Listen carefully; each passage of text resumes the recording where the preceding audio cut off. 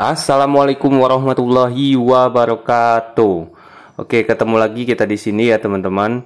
Gimana kabar kalian semua di sana? Semoga kita diberi kesehatan jasmani dan rohani yang pastinya kelancaran rezeki dan tetap cuan selalu ya. Dan buat kalian yang baru bergabung di channel ini jangan lupa menekan tombol subscribe ya karena subscribe itu 1000% gratis ya dan jangan lupa nyalakan loncengnya agar tidak ketinggalan video tentang cryptocurrency di channel ini. Dan saya ucapkan beribu-ribu terima kasih ya buat kalian yang udah subscribe dan dukung channel ini. Nah, kalian tahu nggak teman-teman ada kabar baru tentang Shiba Inu ya, tentang Shiba Inu uh, bahwa akan ada 10 perusahaan besar ya. Dalam minggu-minggu ini akan melakukan pembakaran token Shiba Inu mereka ya kan. Dan uh, satu perusahaan itu membakar sekitar satu miliar token Shiba Inu. Wow luar biasa ya. Nah ini beritanya teman-teman dari YouTube juga ya. Ini uh, kita langsung baca aja Inilah bagaimana satu miliar token Shiba Inu mungkin dibakar minggu ini pembuatan crypto burner ya pembakaran ya. Jadi dalam minggu-minggu ini. Oke. Okay. Nah, Stephen Cooper ya, pemilik dan CIO Bigger Entertainment telah melalui Twitter untuk berbagi dengan komunitas Shiba bagaimana satu miliar token Shiba akan dibakar minggu ini. Nah, ini mungkin uh, si Stephen Cooper sudah pernah melakukan pembakaran ya. Nah ini twitternya yang langsung disebutkan tadi ya, situs Stephen Cooper.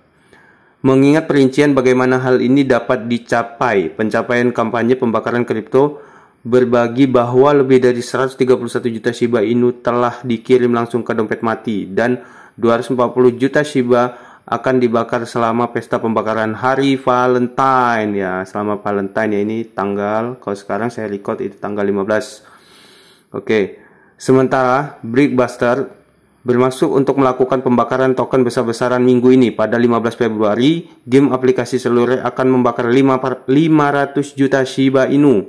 Ini menambahkan hingga hampir 1 miliar untuk minggu ini itu. Jadi satu minggu ini aja mereka akan bakar uh, eh, 1 miliar token ya. Dan ini bu bukan cukup di situ aja ya. Ini ada lagi Today sebelumnya melaporkan 9 bisnis yang bekerja sama dalam janji pembakaran Shiba tuh. Jadi ada 9 perusahaan bisnis ya. Nah, menunjukkan bahwa beberapa bisnis berkontribusi untuk membakar token Shiba Inu bersama Bigger Entertainment. CEO perusahaan itu mencatat ini sebagai tanggapan terhadap pengguna Shiba sambil juga mengulangi kemungkinan membakar satu miliar token Shiba dalam seminggu sejak saat itu. Wow, luar biasa ya. Jadi minggu-minggu ini akan pembakarannya juga. Stephen Cooper berkata, kami mengatakan satu miliar sebagai komunitas, ya kan? Kami bukan satu-satunya yang terbakar ada banyak inisiatif pembakaran yang terjadi dan satu miliar koin dalam satu minggu merupakan langkah maju yang besar. Jadi memang memang bukan uh, bukan cuman mereka ya. Jadi para para army juga uh, yang lain ada yang melakukan pembakaran kecil-kecil ya, kecil sedikit-sedikit ya gitu. 41 juta SIBA terbakar dalam 24 jam terakhir ya. Menurut data yang diberikan oleh pemegang Twitter Shiba Burn, selama 24 jam terakhir total Shiba yang terbakar itu 38.900 sekian ya token Shiba yang dibakar dan 17 transaksi. Oke, okay, sorry ya. Nah, ini uh, Twitternya, Twitter si Shiba Burn ya. Di mereka juga udah ada websitenya tuh. Itu kalian kalau mau lihat live pembakarannya ada di situ. Beberapa jam setelah itu lebih dari 3 juta token dibakar sehingga total keseluruhan saat ini menjadi 41 juta ya. Shiba dihapus dari pasokan yang beredar sesuai dengan situs web Shiba Burn. Menjelang pembakaran besar yang dijadwalkan minggu ini, Paus terlihat mengumpulkan Shiba dalam jumlah besar. Jadi uh, mereka dengar berita ini, ya jadi mereka mulai um, nyerok ya, mulai nyerok, mulai nyerok paus-paus itu ya.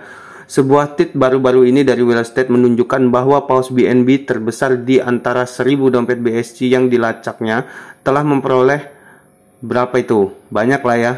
1 2 3 ya 139 miliar Shiba Inu ya atau senilai dengan 4 juta ya 4 juta 232 ribu dolar ya. Nah, Selain itu, Shiba telah kembali ke peringkat koin yang dibeli nomor satu untuk kategori ikan paus ya. Dalam jangka panjang, penurunan memicu pengurangan pasokan dalam dalam jangka panjang penurunan memicu pengurangan pasokan dan mungkin memicu narasi bullish untuk harga Shiba ya dan kita doakan saja ya. Semoga dengan adanya pembakaran ini Shiba akan tembus ke ATH barunya ya dan kita uh, cepat mewujudkan mimpi-mimpi kita ya di tahun 2022 ini. Amin.